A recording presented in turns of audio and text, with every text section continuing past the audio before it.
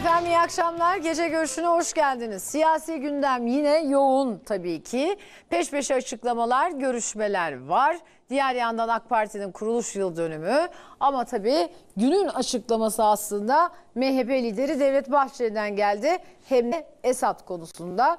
Dolayısıyla e, Esad'la görüşmeler ne aşamada ne aşamada ilerleyecek bunları konuşacağız ilk başta. Hemen konuklarımı sizlere tanıtayım. Ee, Murat Gezici, Gezici Araştırma Başkanı bizimle birlikte. İsmet Özçelik, Aydınlık Gazetesi Ankara temsilcisi CNN Türk'te gece görüşünde. Abdülkadir Selvi, Hürriyet Gazetesi yazarı gece görüşünde CNN Türk'te. Ve Zafer Şahin, Milliyet Gazetesi yazarı da bizimle birlikte. Aslında biliyorsunuz İsmet Özçelik'in en sevdiği konular. Öyle dedim ki bugün ona öyle olsun İsmet Özçelik'le baş e, şey e, Esat'la başlayalım. Şimdi İsmet Özçelik heyette yer alacak. öyle görünüyor. Şimdi tabii önce e, en taze, en dikkat çeken açıklama dedim ki Devlet Bahçeli'den geldi. Çavuşoğlu'nun Suriyeli muhaliflerle Esad rejimi arasında barışın tesis edilmesi hususundaki yapıcı ve gerçekçi sözleri kalıcı çözüm arayışlarına güçlü bir nefestir. Bundan hiç kimsenin rahatsız olmasına gerek yoktur dedi.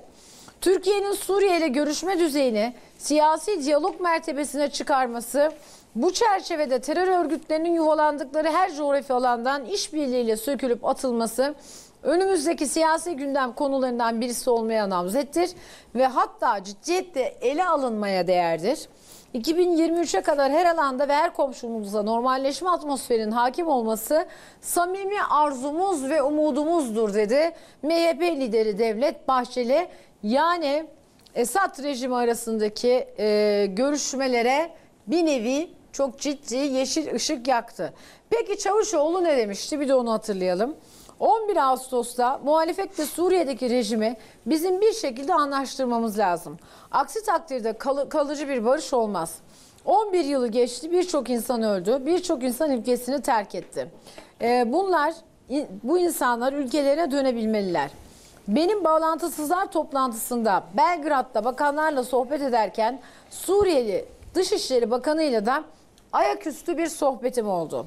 Şu anda rejimle doğrudan bir temas yok. Uzun zamandır zaten Putin ve Rus yetkililer sizi rejimle görüştürelim. Esad'la Cumhurbaşkanımızı görüştürmek istediler. Cumhurbaşkanımız başkanımız da istihbaratların görüşmesinin faydalı olacağını söylemişti. Bir ara istihbarat arasında görüşmeler olmuştu. Daha sonra bir kesinti oldu. Şimdi tekrar başladı. Ben şuradan alayım sonra sorumu yönelteyim. Biliyorsunuz Soçi'ye gittik Sayın Cumhurbaşkanı Erdoğan'la ve dönüşte de e, istihbarat görüşmelerinin devam ettiğini ifade etti. Tabii Soçi sonrası bir takım perde arkası bilgilere de bakıldı. Aslında e, Putin'in e, Esad görüşmesini daha doğrusu Esad rejimiyle görüşmenin geliştirilmesini e, ve sürmesini, geliştirilerek devam etmesini istediği görüşmede ifade edildi. Bilgisini de zaten Hürriyet gazetesinde yazmıştım. Diğer taraftan Adana mutabakatının e, revize edilerek e, genişletilebileceğini söylediği belirtildi yine Putin'in. Şimdi e, Cumhurbaşkanı da hatta bizlere istihbarat görüşmeleri devam ediyor dedi ve sonrasında Çavuşoğlu'nun e, bu görüşmesi gündeme geldi. Ardından da Bahçeli'nin bugünkü çok ciddi desteği. En çok en seven kişiyle başlayalım konuyu İsmet Özçelik. ne oluyor kulis bilgilerini bize bir aktarır mısın bakalım öncelikle? Şimdi Bahçeli şimdi bu böyle bir desteği bir neden verdi. Bu ayaküstü görüşmede ne oldu? Bu görüşme nasıl devam edecek? Şimdi birincisi Erdoğan Putin Soçi'deki buluşması bence son dönemlerin en önemli buluşması. Hatta bunu şunu demek e, mümkün. 2021'deki Soçi buluşmasının devamı. Şimdi bunu niye söylüyorum? 2021'deki Soçi buluşmasında biliyorsunuz baş başa yapıldı. Kimse almadılar yanına.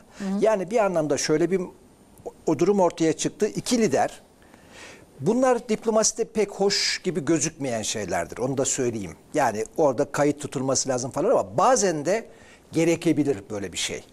Şimdi o görüşmede dedim, yani varılan nokta ana hatlarla öncesinde yapılan ön çalışmalarda muhtemelen iki lider bir ta- e, yol haritasında anlaşması ve altındaki adamlara bu dosyaya gidip buna uygun hareket edeceksiniz demeleri şeklindeydi. Şimdi bu olaydan sonra Tahran'da bir görüşme zirve oldu. Üçlü İran diyorsun. üçlü zirve oldu. Burada baş başa görüşmeler de yapıldı. Fakat orada en dikkat çekici olay yani bence Tahran zirvesinin en önemli şeyini siz de oradaydınız. Cumhurbaşkanı yolda açıkladı. Dedi ki Ben Tarhan'a gitmedim. Soçi'ye Ha gittim. pardon Soçi'ye gitmiştiniz. Ee, yolda üç lider de Fırat'ın doğusundan Amerika'nın çıkmasını istiyor. Bizim de beklentimiz bu dedi. Sonra gerekçelerini de sıraladı. Şimdi bu son Soçi görüşmesinden sonra hani e, hızlı bir gelişme olduğunu görüyoruz. Bu gelişme bir kere e, Dışişleri Bakanı'nın e, Büyükelçiler 13. Büyükelçiler konferansındaki sözleri. Hatırlarsın e, hani ben bu beraber bir yayınımızda Suriye ile üst düzey görüşmeler yapılıp belki de yapılmıştır diye bir e, söz söylemiştim. Hatta kulise çıkınca seninle de sohbet ettik ve sana Sayın Çavuşoğlu'yla e, Suriye Dışişleri Bakanı'nın e, hatta onu da bilerek söylemiştim. Belgrad demedim Viyana diye söylemiştim. İyi Evet. hatırlıyorum. Evet o haberin peşine düşmediğim için pişmanım. Yani bunu söylemiştim. Fakat bu gizli bir bilgiydi.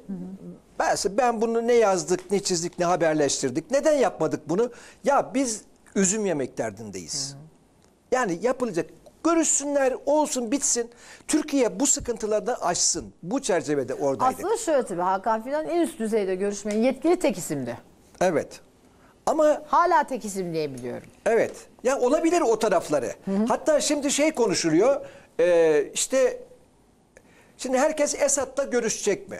Şimdi Şunu da okuyalım da. Evet. Bugün e, Hayati Yazıcı da bir Ha, Hayati e, televizyon kanalında açıklamalarda bulundu. Sorunları çözmenin birden farklı faktörü olabilir. Uluslararası diplomaside sorun çözmenin en önemli yolu diyalog kanalıdır. Bugüne kadar sınırlı ölçüde yürütülüyordu.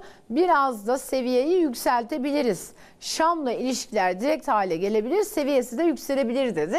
Ee, yani e, aslında e, istihbarat adına bayağı üst düzey aşağı kademeyi söylemiyorum.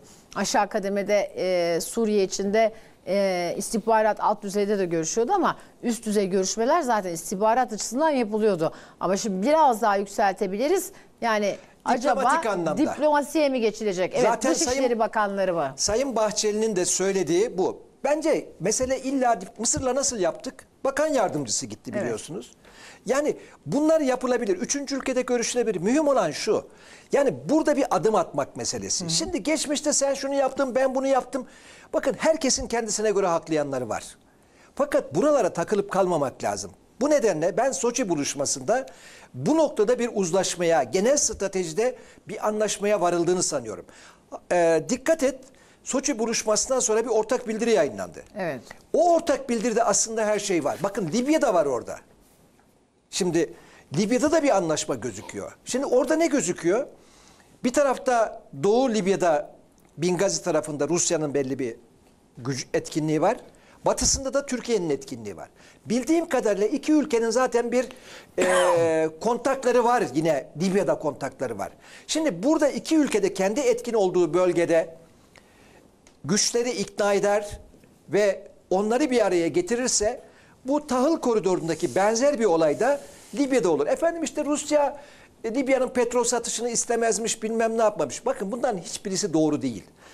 Ee, yani konuştuğum için söylüyorum.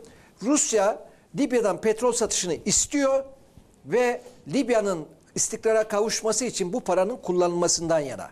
Ve biz aynı bu tahıl koridorundaki koridorundaki olayı e, Libya'da da benzer bir şekilde görebiliriz. Yani bunun koşulları var ama şu anda öncelik mi değil mi emin değilim. Şu anda ben önceliğin e, Suriye'de olduğunu düşünüyorum. Şimdi e, Sayın Bahçeli bu tür zamanlarda ilginç açıklamalar yapar ve ilginç açıklamalarda benim izlediğim kadarıyla bir yöntem var o çok dikkat çekici. Nedir? Mesela burada doğrudan doğruya dikkat ederseniz Dışişleri Bakanlığı isim vererek destekliyor.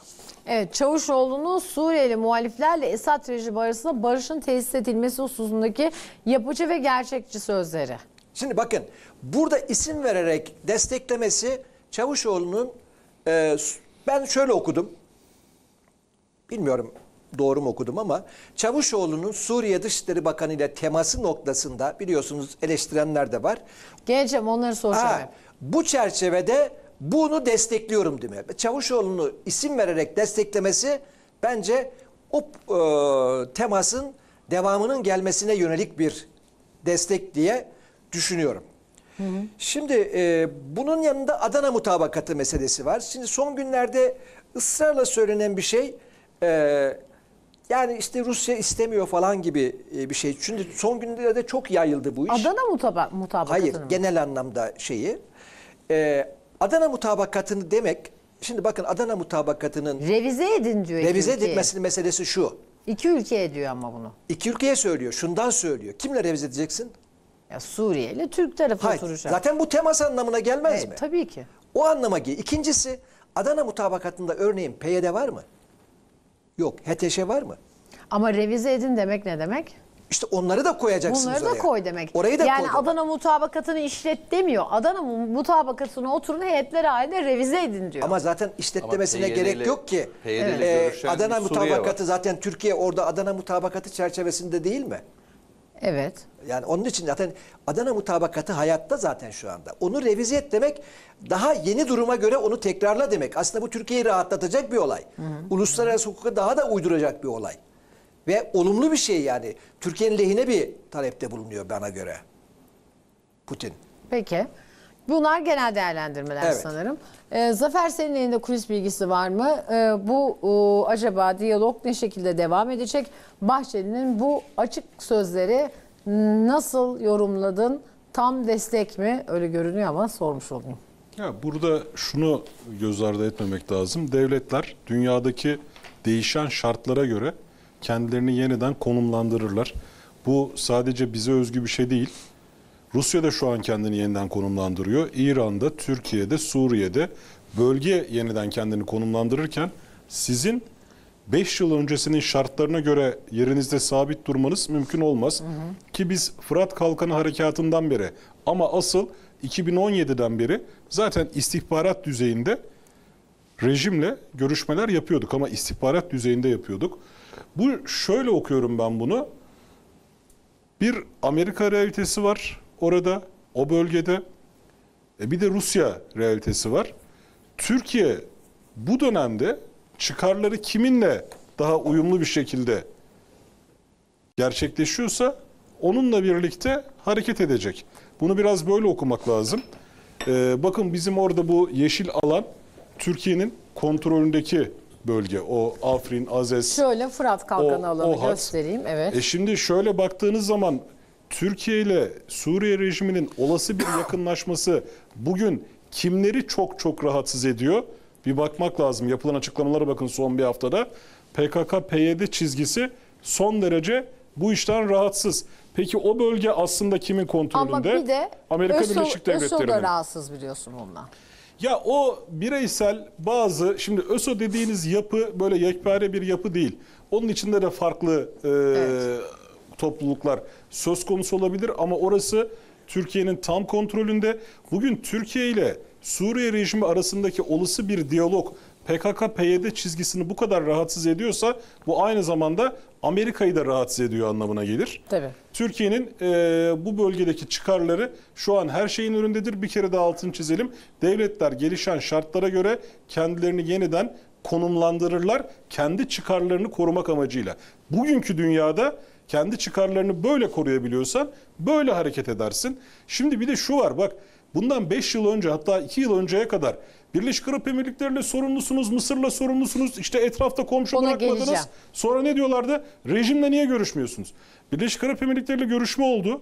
Suudi Arabistan'la görüşme oldu. Bu sefer döndüler. Efendim siz bunu para için yapıyorsunuz.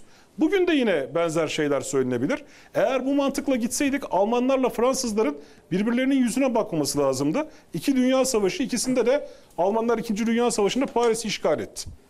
Fransa'yı işgal etti iki savaşta da. Ayrıca da E ülkeler şöyle- birbirleriyle para için ya görüşüyorlar. Yunanistan bizim çok net. Yunanistan Çıkar geldi meselesi. bizim topraklarımızı Anadolu'ya işgale kalkıştı.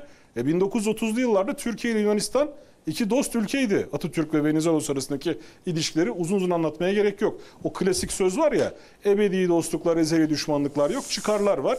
Çıkarlar neyi gerektiriyorsa o olacak. 2017'den beri istihbarat düzeyinde gerçekleşen görüşmelerin bugün farklı bir aşamaya geçmesi özellikle Sayın Bahçeli'nin de e, yapmış olduğu bu açıklamaları ben de çok önemsiyorum. Bunu çok makro planın bir makro plan olduğunu, bu makro planın ilk işaretleri, ilk kıvılcımları olduğu kanaatindeyim. Peki Murat- Zafer Bey bir şey söyleyebilir miyim e, geçmeden? Yani bu hamlede PKK'nın ve Amerika'nın rahatsız olması Türkiye'nin doğru oldu, yolda olduğunu göstermez Ya mi? elbette ki zaten İsmet Ya- Bey bakın bizim başından beri bakın mesela ne alaka diyeceksiniz de hani bu Mehmet Ali Çelebi'nin sorduğu 20 soru meselesi var ya. Ya bugünün mottosu diyeyim ben. Cevabını arayan soruları bunlar. Ya şimdi şöyle bir düşünmek lazım. Türkiye'nin bu bölgede attığı adım eğer Türkiye'nin üniter devlet yapısıyla sorunlu, Türkiye'yi parçalamak isteyen bir terör örgütünü rahatsız ediyorsa demek ki başlarına geleceği görüyorlar. Demek ki böyle bir durum söz konusu. Başka kimleri rahatsız ediyor? Okyanus ötesini rahatsız ediyor. Başka kimleri? İşte Amerika Birleşik Devletleri'ni rahatsız ediyor. E o zaman bir düşünmek lazım. Yani demek ki burada doğru giden bir gidişat söz konusu. Doğru bir gidişat var. Şimdi Esad şu bölgenin kontrolünü istemez mi? Elbette ki ister. Orası bir de biliyorsun petrol yataklarının Tabii da ki. olduğu yer. Peki e, bu bölgenin kontrolünde e, rejimi de biliyoruz biz. Zaman zaman PYD ile de işbirliği yaptı geçmiş yıllarda. Tamam yani bunu net konuşalım. E, ama rejim Rusya höt dedi mi o işten vazgeçip mecbur burada Bir de Türkiye ile ortak bir e, revizyona Adana mutabakatı, mutabakatı çerçevesinde gitmek durumunda kalabilir. Bir de şunu ekleyeyim bak Halep var ya orada. Halep işi o kadar önemli bir iş ki. Bugün bize gelen Suriyelilerin yanlış hatırlamıyorsam 2,5 milyonu değil mi abi? oradan. 2,5-3 milyonu Halep'ten. Bugün siz Halep'i yaşanılabilir, güvenli bir hale getirdiğinizde kendi topraklarınıza taşmış olan o sığınmacılar konusunu, Suriyeliler konusunu da büyük ölçüde halledebilirsiniz. Ha şimdi şu sorulabilir, siyaseten kullanılabilir. Efendim dün yapmadınız da bugün niye yapıyorsunuz? Çünkü şartlar bugün olgunlaştı. Ona geleceğim. Onu onu onu ben biliyorum konuşacağını ama geleceğim.